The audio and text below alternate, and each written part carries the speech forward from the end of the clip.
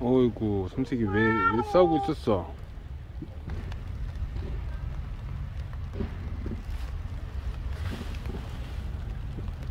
검백은 일단 음성이에요. 아네 진드기가 있어요. 아 진드기요? 귀진드기요? 네, 아 많았어요.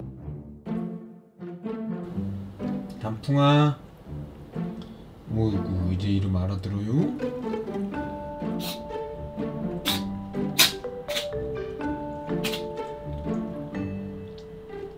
단풍아